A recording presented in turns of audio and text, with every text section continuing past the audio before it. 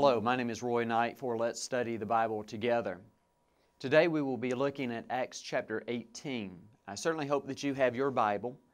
I want you to remember the last time that we were together that Paul was in Athens and Paul had gone up to Mars Hill and taught the congregation there of Jews and Gentiles, and there were some who believed and some who did not believe and many of them were attached unto Paul and, and followed. We remember as well that there are some who mocked him and did not.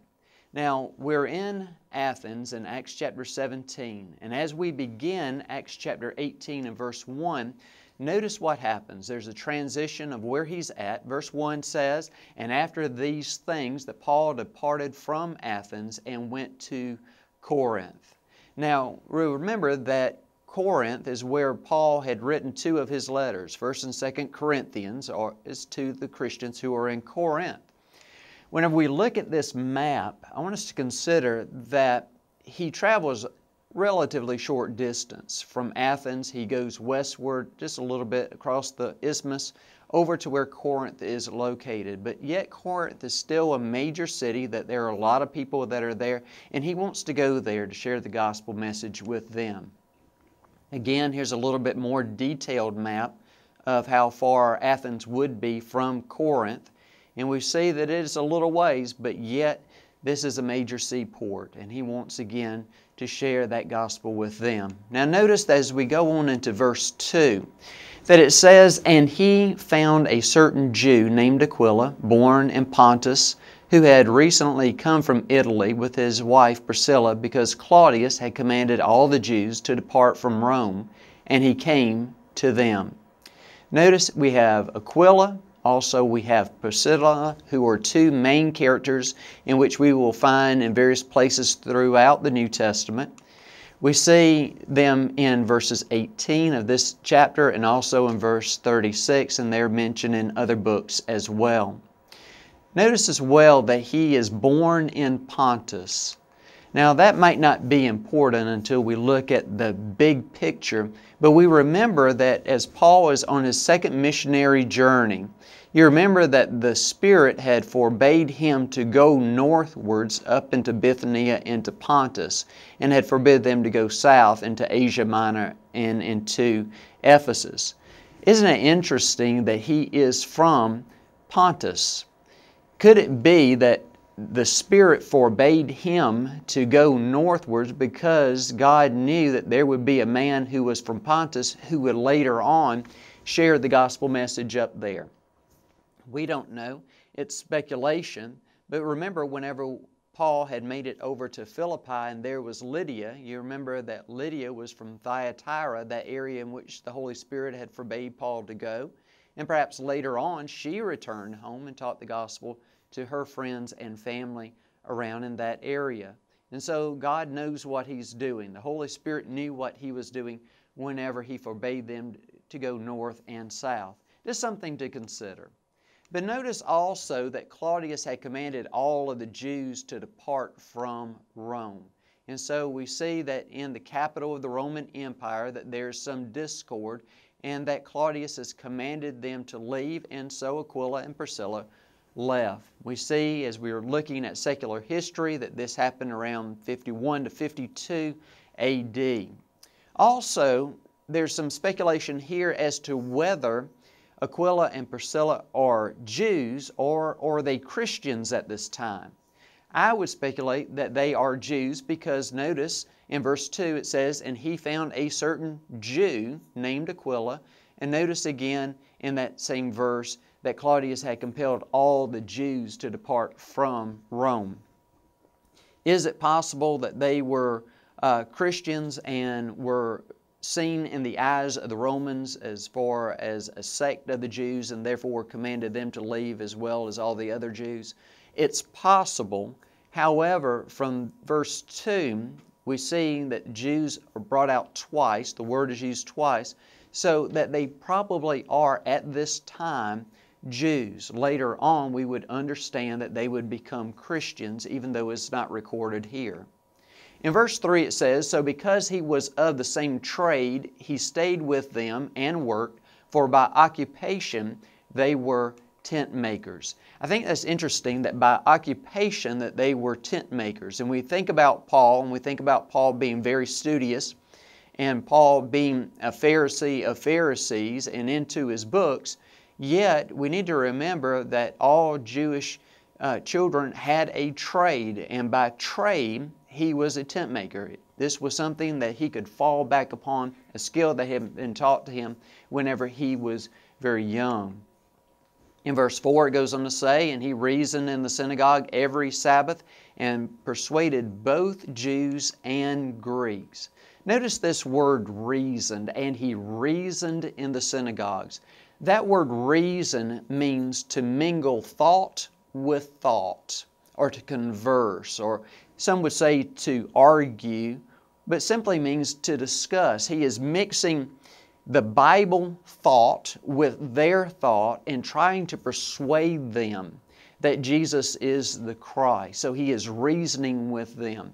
Whenever we are talking to people about Jesus Christ, we need to reason with them. And not necessarily to give our thoughts on a particular matter, because everyone has an opinion, but to go back to God's Word and to share God's Word with them. You know, there's a lot more power whenever they see you opening up the Bible in a Bible study and reading verse for verse what is there. It's no longer you, but it is God's Word that is being brought out. And so he is reasoning with them in the synagogues. Where is he going? He's going back to the Old Testament. He is going to Scriptures, and he is showing them that through prophecy that Jesus is the Christ. Also notice this word, not only did he reason with them, but he persuaded them. And that word persuaded means to induce one with words to believe. He is trying to give them a reason for the hope that is within him. He is trying to persuade them to bring them over from their former beliefs to where they need to be in their thinking. So he is reasoning with them, he is persuading them to come and to understand Jesus Christ for who he really is. In the very next verse, in verse 5, it says, when Titus, excuse me, when Silas and Timothy had come from Macedonia, that Paul was compelled by the Spirit and testified to the Jews that Jesus is the Christ. I think that it's interesting that when we see Silas and Timothy as they are coming to find Paul, I wonder how did they find him? You know, they couldn't pick up a cell phone and say, Hey, Paul, where are you? They had to come all the way from Berea, all the way down through Athens, and then over to Corinth. How did they find him as Paul is traveling around? And I wonder if possibly it's not by the people he had converted, that they pointed the, the way. You remember that whenever Paul is in Athens, that there are many who are converted to the Lord. Perhaps they pointed the way over to where he is in Corinth. Isn't that interesting? That whenever we go to the Old Testament, we can always say of Abraham that you can trace him by his altar fires, meaning no matter where he went, he was setting up altars and worshiping God. I wonder in this situation, I understand that it's different. I wonder if they couldn't find Paul due to the people in which he had converted. Oh, Paul, yes, we know him. He went on down to Athens. He went to Corinth. And I wonder if they couldn't find him due to the people in which he had converted. I wonder with us as we are preaching the gospel, as we are teaching the gospel to people, can, can people find us in relationship to people in which we have converted? Have we ever taught anyone the gospel? Have we ever shared the gospel with anyone? We need to remember that as Christians, that is our primary duty in this life, is to go and follow that great commission and to share the gospel with people, teaching them and baptizing them in the name of the Father, the Son, and the Holy Spirit, and, teaching them again to observe all things in which God has commanded us. I want us to go on from there and to consider at the middle of this verse, in verse 5, it says, And Paul was compelled by the Spirit. The King James Version uses the phrase that he was pressed in the Spirit. In Acts chapter 17 and in verse 16, it says that his spirit was provoked within him. His spirit was provoked within him. Now, within that context, you remember that Paul is going throughout the marketplaces in Athens and he sees all of these altars that are there to various gods, the various Greek gods that are there, and people are coming and offering their offerings to them. And he sees a city who is carried away in idolatry, and it says that his spirit was provoked within him. Here, whenever he's in Corinth, the same thing happens. Now, looking at various translations, in the New King James Version, it says that Paul was compelled by the Spirit. The implication here is that he was compelled by the Holy Spirit to move and, and, and, to talk and to, to preach the gospel. From the King James Version, it brings out that it, he was pressed within his spirit. Those are two different things the Holy Spirit and Paul's spirit. Whichever one is correct, the important part here is that he felt moved to share the gospel with people. And I wonder as well if we feel moved to share the gospel with people. Are we provoked whenever we go out in our day to day lives and we see people who are lost? And you remember that most people are lost because Jesus talks about the broad way and the narrow way, and he talks about the broad way or the wide way. And many there are who, who follow that one, but there's a narrow way and few who are, or there are many who follow the broad way and few who follow the narrow way. And when we go out into our communities, do we consider that the people in which we come in contact may be lost? Well, is our spirit provoked within us to share the gospel message with them? Or to share a track or, or to invite them? Or do we just simply go through our daily routines, not even thinking about souls and not even thinking about that there is an eternity that is waiting for each and every one? I would encourage you that as you study the Bible, I want you to note the urgency by which Christian men and women share the gospel of Jesus Christ. And that I pray that that seed of urgency will be planted not only in myself, but in all of us to share the life saving message of Jesus Christ.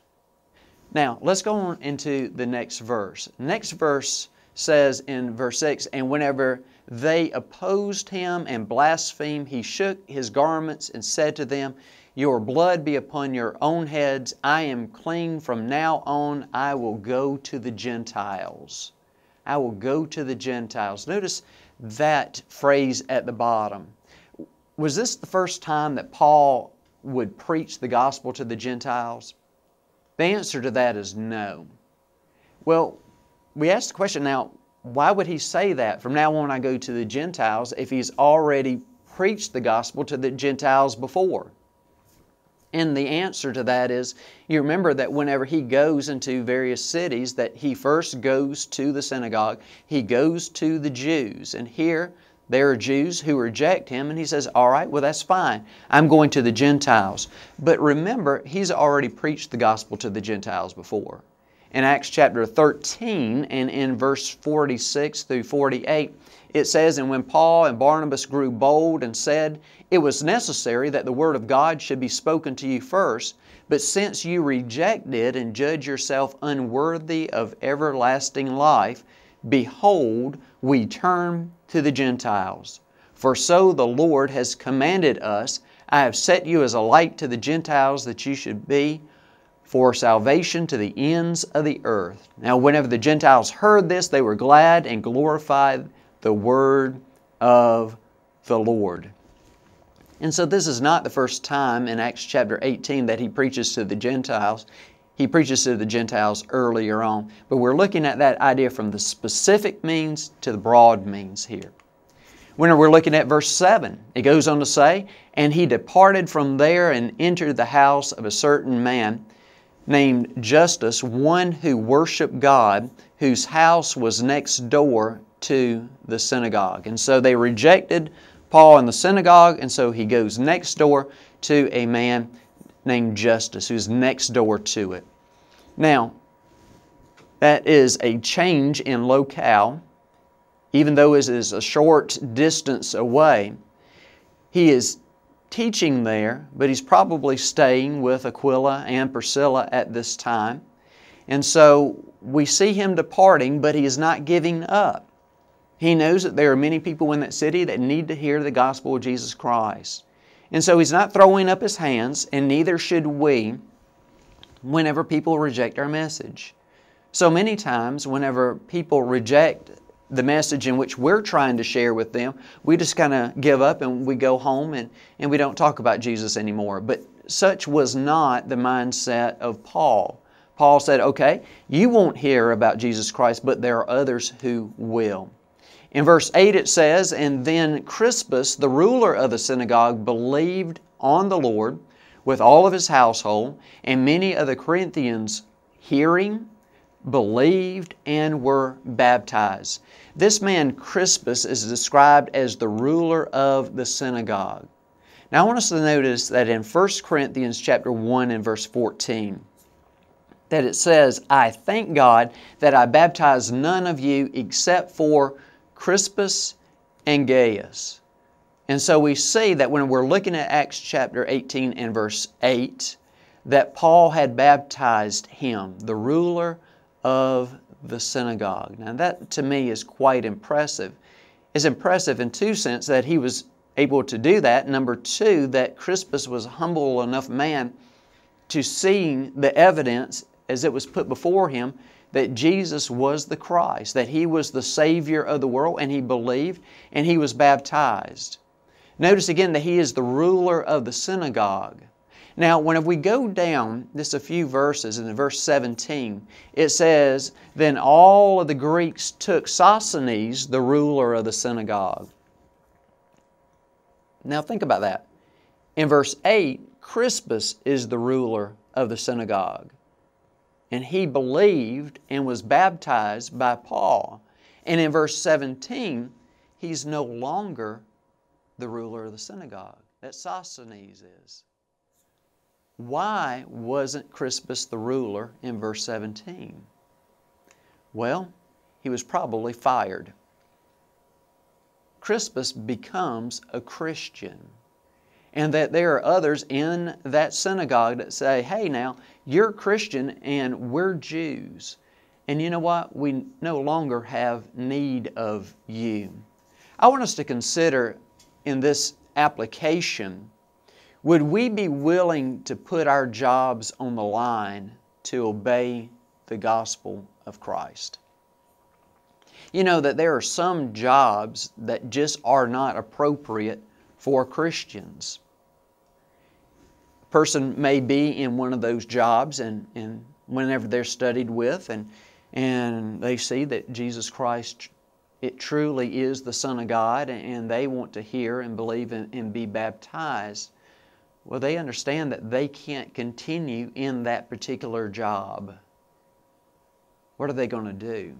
You know, Crispus could have said, You know, I like being ruler of the synagogue, and I understand that Jesus uh, is the Christ, but I'm not going to follow him because I like my position. But he wasn't like that. He gave up that position to follow Christ, and it may be that some of you may need to give up that position in order to follow Christ. I'm not saying that everyone does, but if it is an occupation that is inconsistent with godly values, then yes, maybe so. Maybe you need to give that up in order to follow the Lord.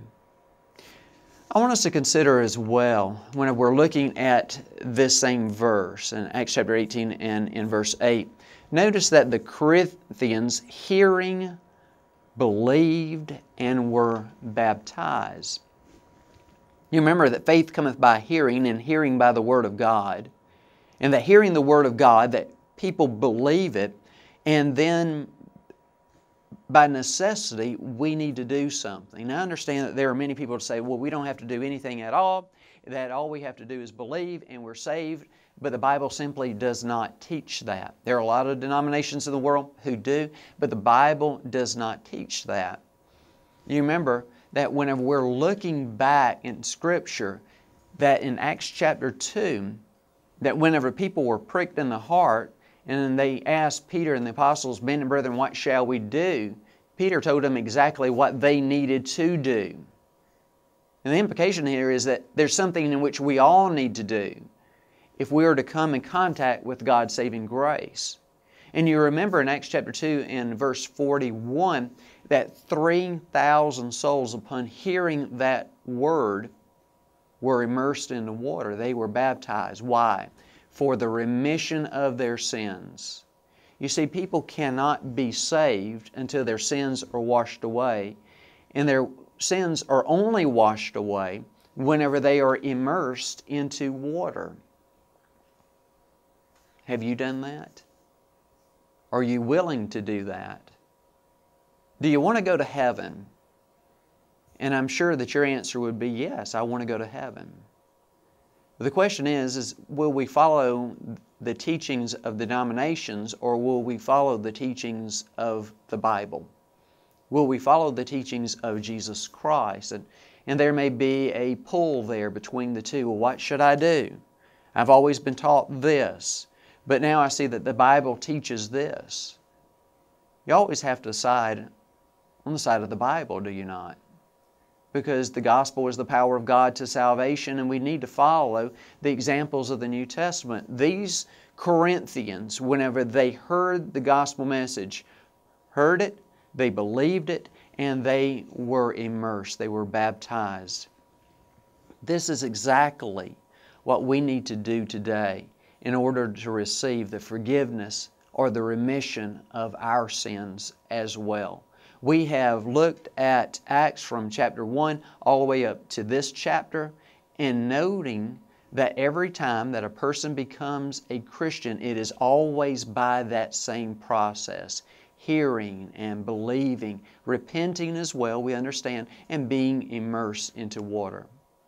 Now, the very next verse goes on to say, in verse 9, it says, Now the Lord spoke to Paul in the night by a vision. Do not be afraid, but speak and do not keep silent, for I am with you, and no one will attack you to hurt you, for I have many people in this city. The question here is could it be that Paul was afraid?